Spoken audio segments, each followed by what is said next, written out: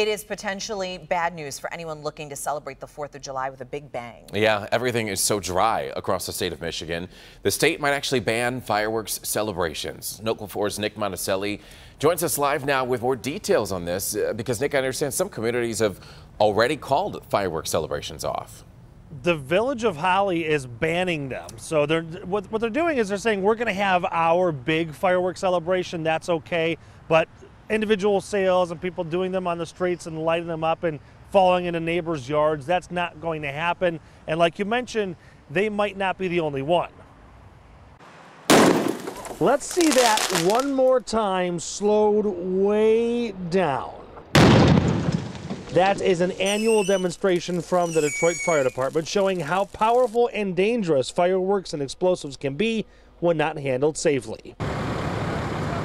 But this year, there is another fireworks message. Some are saying don't use them at all.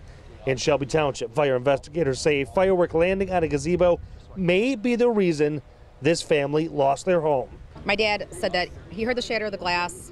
He woke up, he saw the flames in the in the deck. The whole deck was in flames. The fire chief here is concerned because it has been so dry and new laws in Michigan allow residents to purchase commercial grade fireworks. This would not be the first fire-related problem we've had since this ridiculous piece of legislation got passed. Some, though, like the new law, but for this 4th of July, there could be no fireworks at all. Because of the lack of rain, it is extremely dry in Michigan, and the state fire marshal told the Detroit News that a statewide ban on fireworks is being discussed to prevent more of this.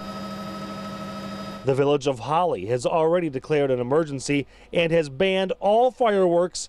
Expect more to do the same. Don't make a problem for your neighbor and, uh, you know, and create a big debris field or worst case scenario, burn down your neighbor's house because of fireworks.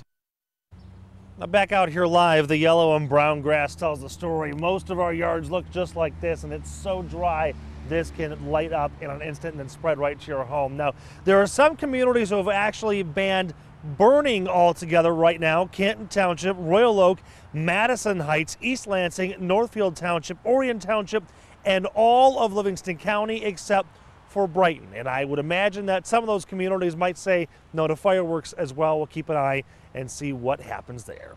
We're live this morning. Nick Monticello, Local 4 News today.